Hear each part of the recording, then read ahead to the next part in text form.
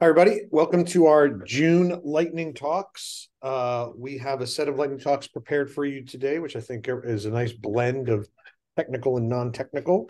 Um, reminder of our ground rules. So generally our presenters have around five minutes to present their topic or demo. People will probably go over a little bit. That happens every time. Um, questions and comments, uh, try to uh, keep to the thread in the Lightning Talk Google chat space. So I've already created one for the first one. And as we go to our next lightning talks, I'll create another thread for each talk. And so if you have questions, comments, feedback, uh, please uh, go ahead and do it in there. And then the presenter after their talk will go into their particular thread, answer things, etc. Um, we are recording this meeting, uh, just so everybody knows. So what do we have for you today? We have Intro to Database Indexing by Debbie. We have High Performing Agile Teams from Joe about embeddings from Jan and records and tuples in JavaScript by myself. So without further ado, we'll get right into it with Debbie. I'm going to stop sharing my screen. Hi, everyone. I'm going to share my screen.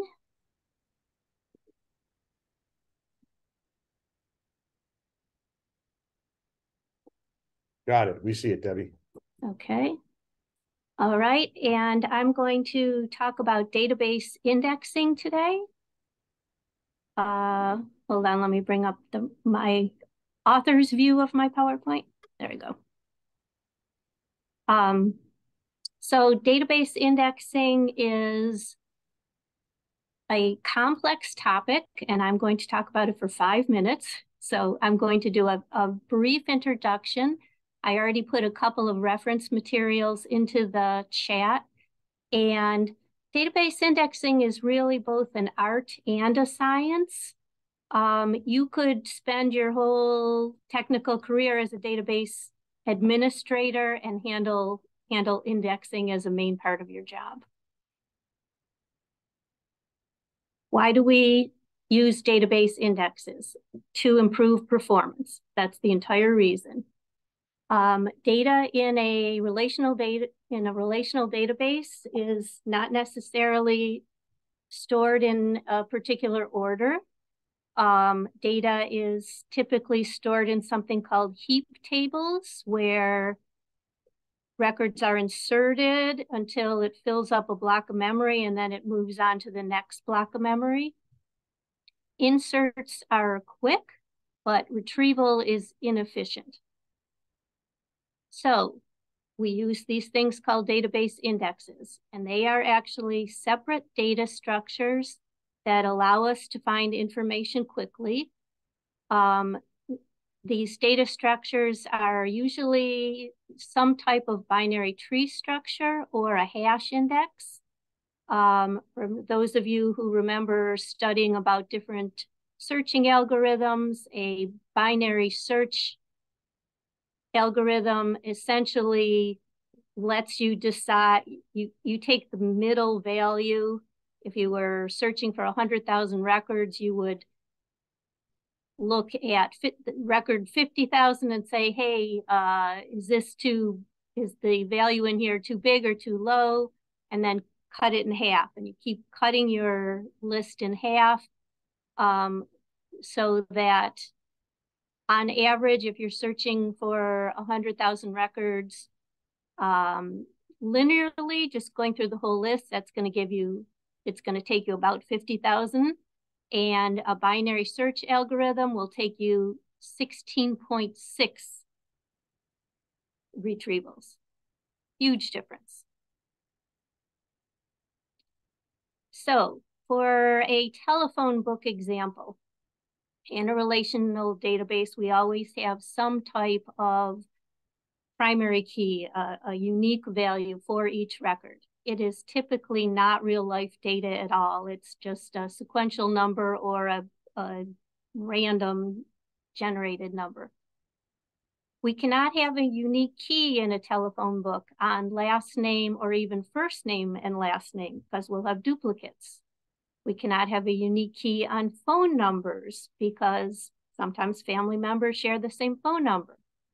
So in a phone book with a gazillion entries, It'll take a very long time to look up a phone number.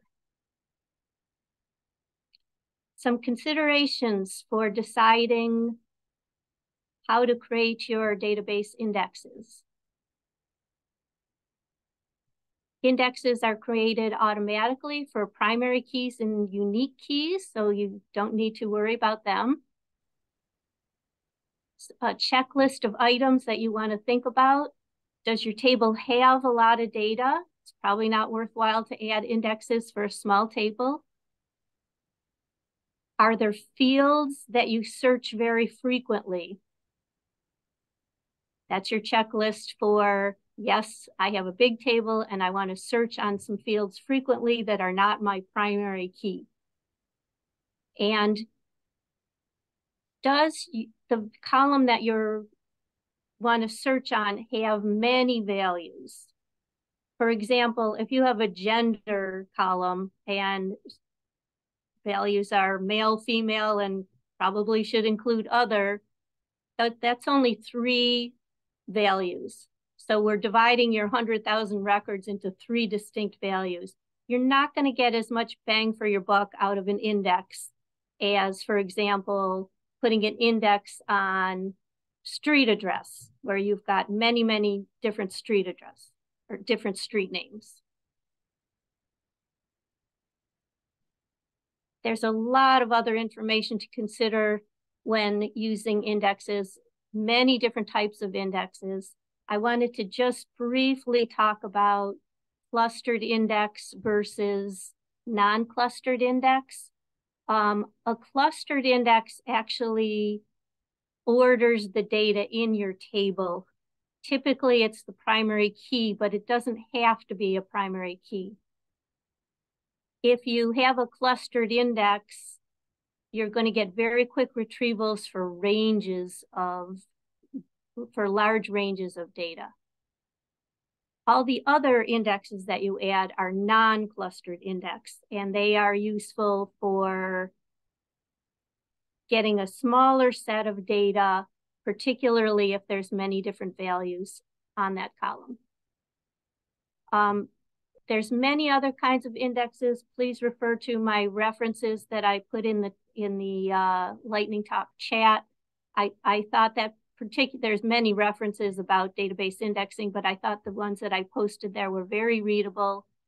Um, and just keep in mind that each database has its own implementation and has its own set of different types of indexes. So whatever database you're working with, SQL Server or Postgres or MySQL, um, make sure that you're reading the right information for that particular database engine. So this all sounds great. Why don't we just make in indexes for every column on every database table? Well, unfortunately, there is a disadvantage. The um, table, the indexes themselves are, are a data structure, an extra data structure. They take up storage space and memory. Um, also, Indexes make retrieving data faster, but they slow down when you insert, up to, update, or delete because not only does the data need to be updated, but the index needs to be updated. And that's it for my Lightning Talk presentation. Thanks, Debbie. Appreciate it. That was great. Uh, they're all clapping for you in the other room. I could hear it. You can't hear. uh, let's uh, now shift over to Joe.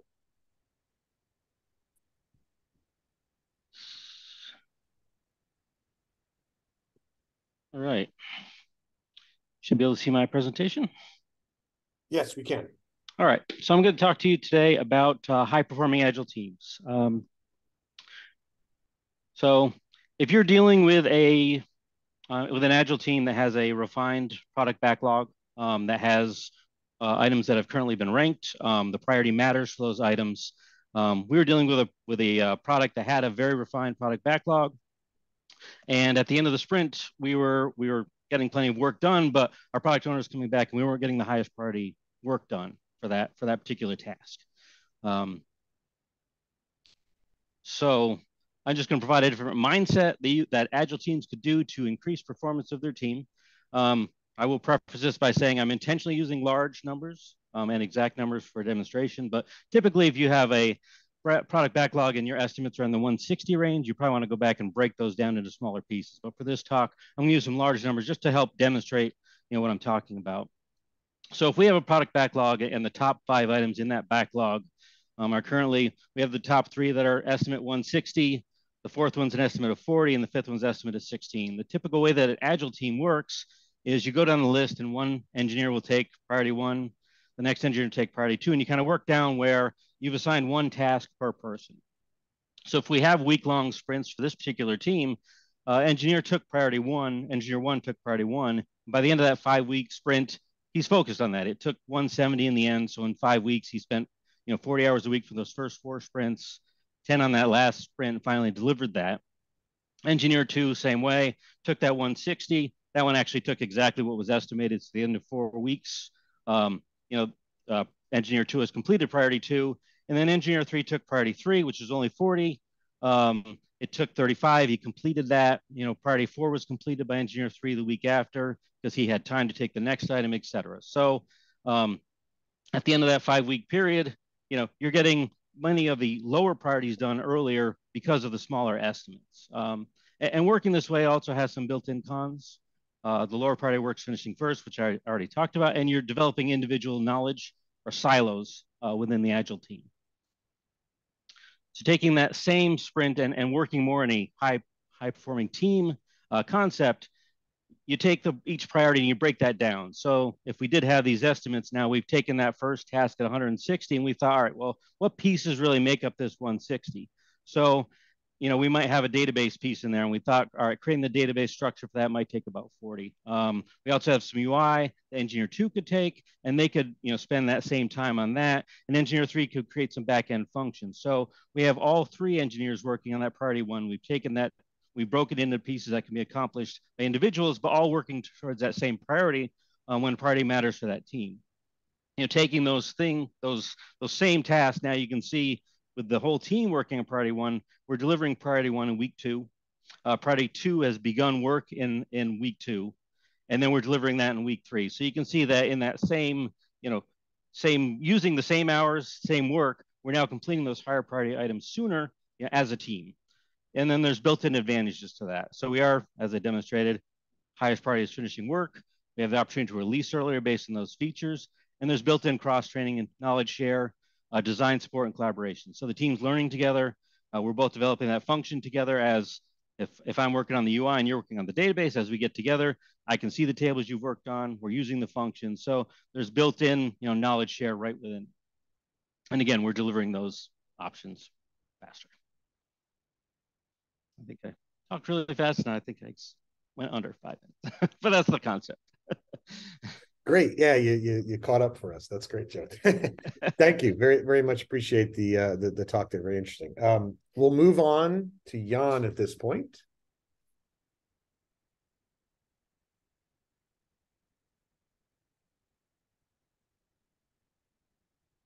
Hey, sorry. Uh, let me share my screen. Um, okay, you guys see my screen? Yes. yes. All right, great. So I want to talk to you about embeddings today. Um, and we're going to go over what are word embeddings, uh, how to create those embeddings, and uh, beyond word embeddings. So let's uh, take a look at word embeddings. What are those? Um, so word embeddings are vectors where each word gets assigned a vector, and the vector is chosen in a way that their position in the vector space says something about the relation to other words. So in this example down here, we see a two-dimensional vector space, so to speak. Um, each word has a two-dimensional vector, and um, similar words are close together, like uh, man, woman, girl, boy, uh, nice, cool, exciting, amazing, awesome.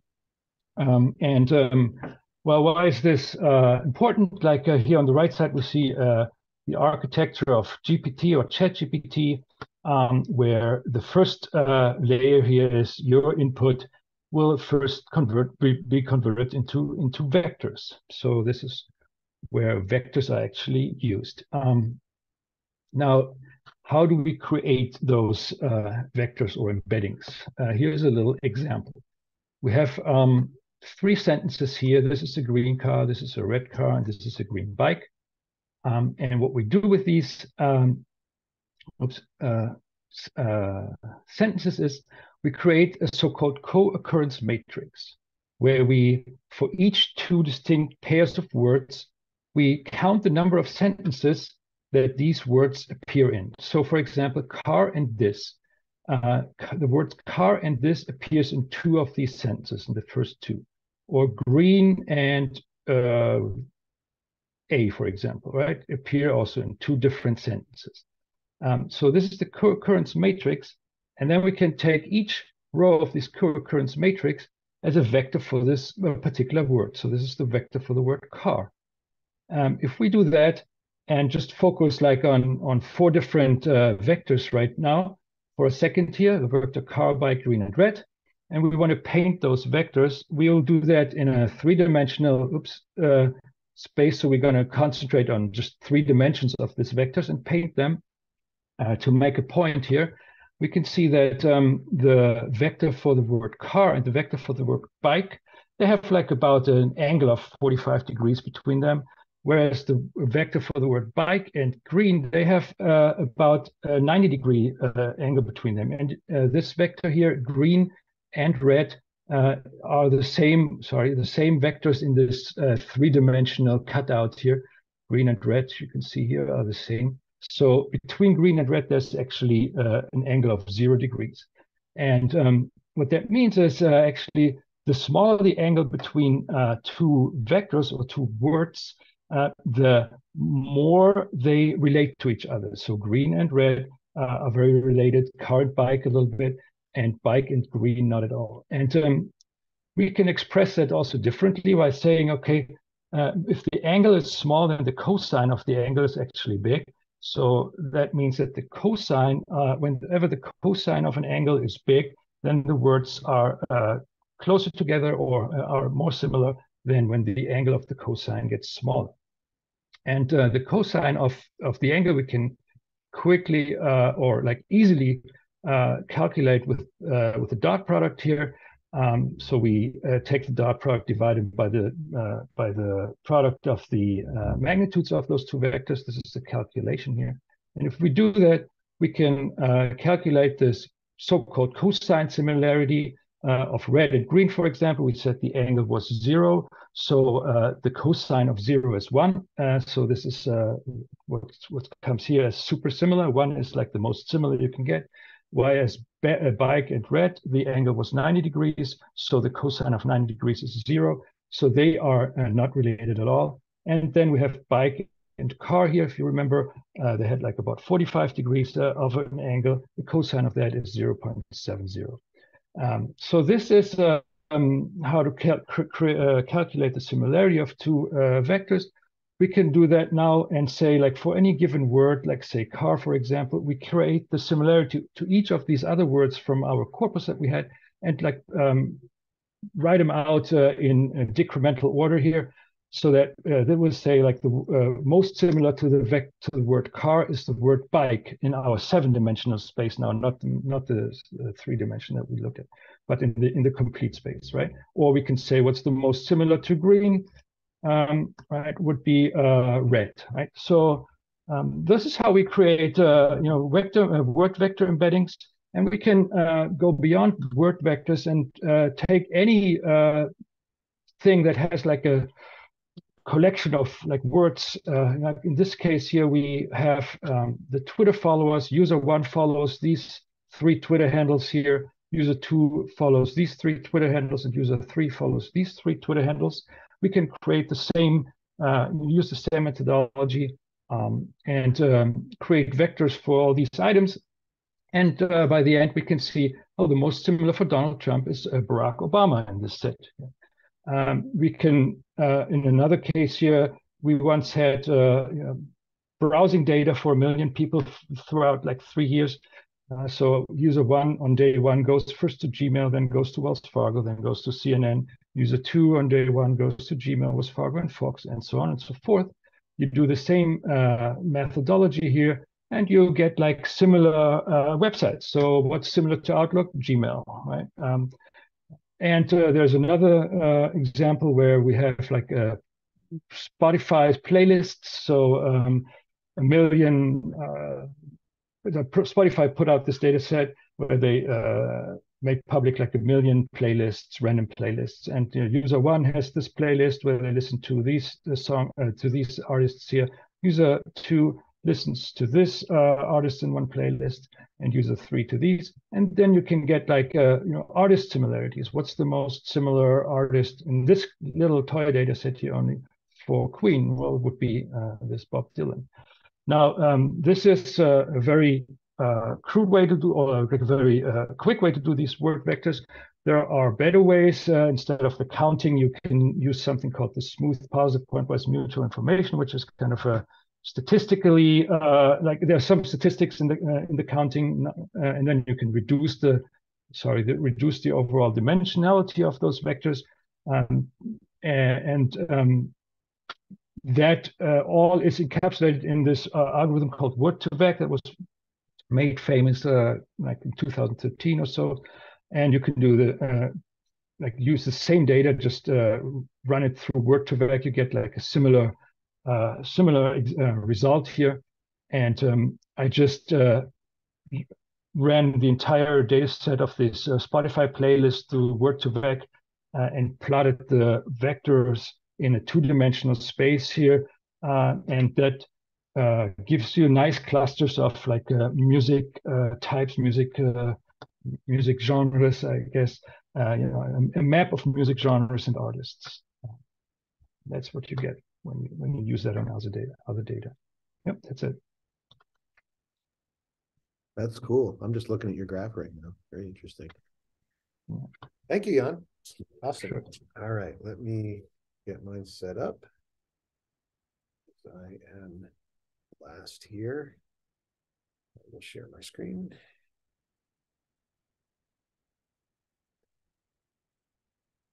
Everybody can just let me know when they can see it.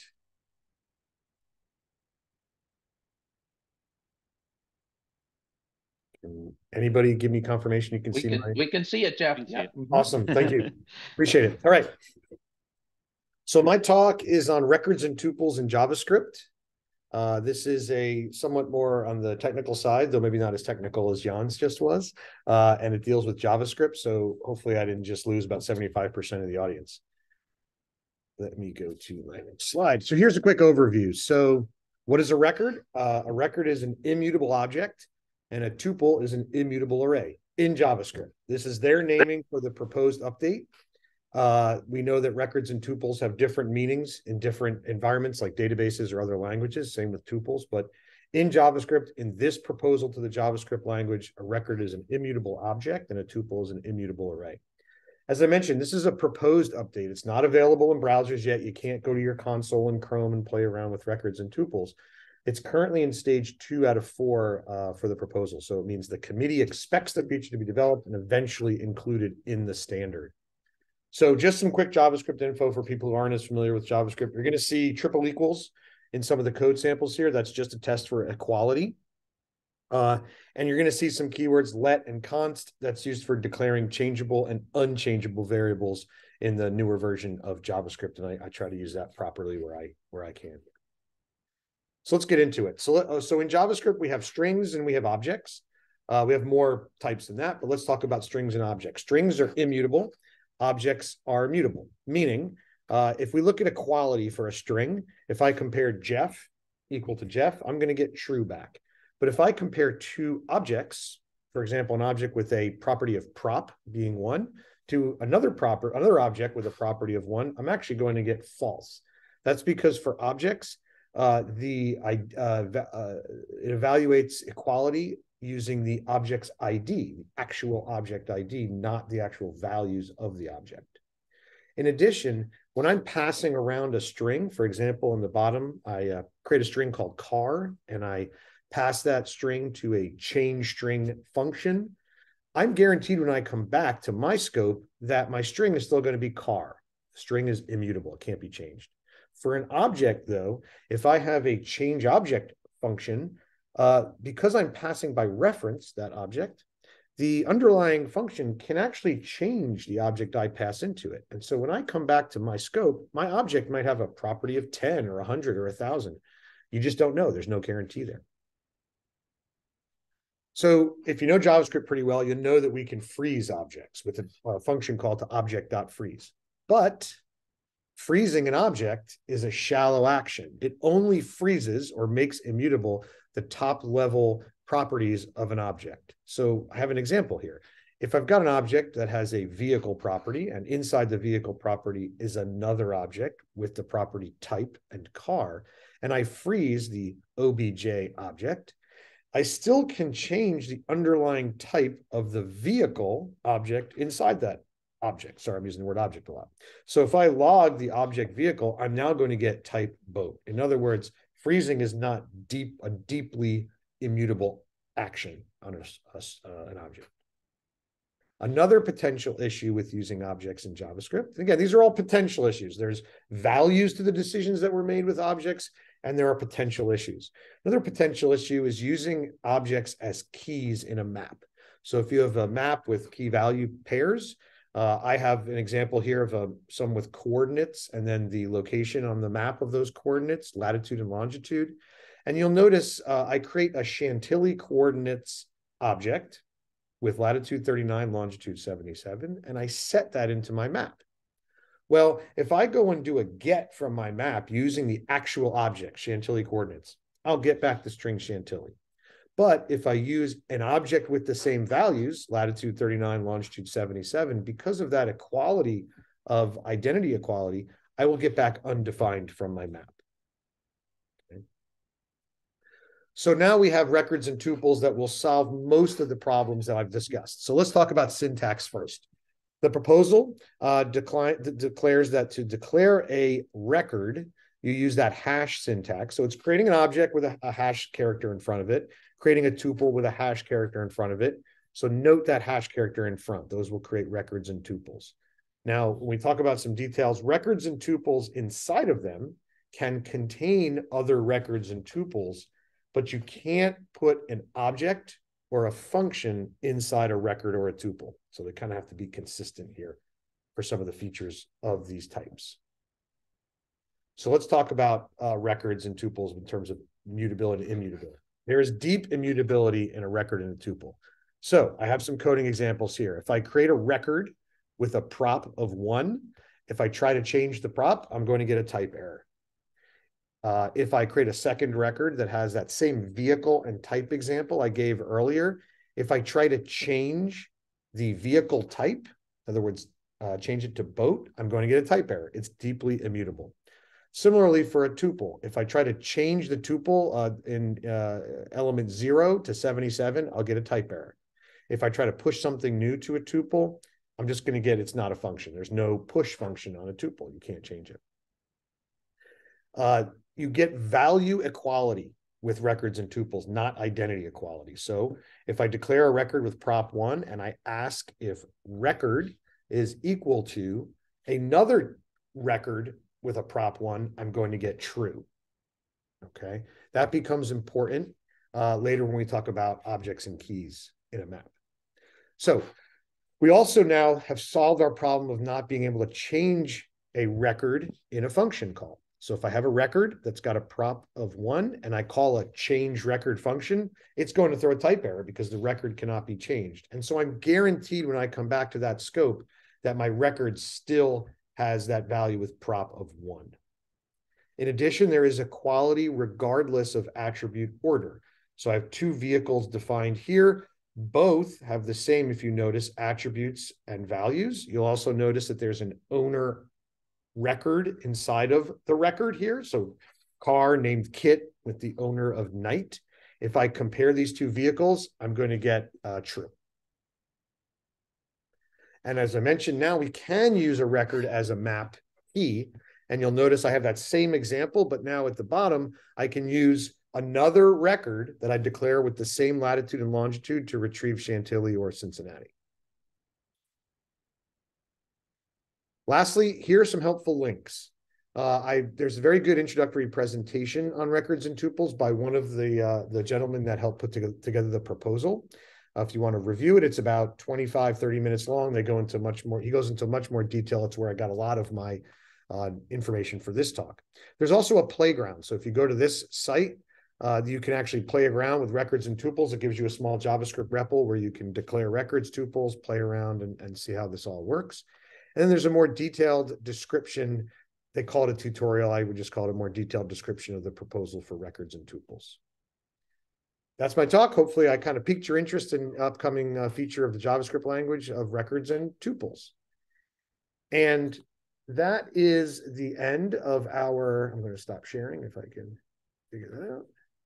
Okay, so that's the end of our lightning talk session for this month. Thank you to Debbie and Jan and Joe for presenting. Again, there are now threads in the lightning talk space. If you'd like to continue the discussion there, I will post and I would encourage other presenters to post a copy of their presentation in their corresponding thread so you can get to any links that we uh, created there.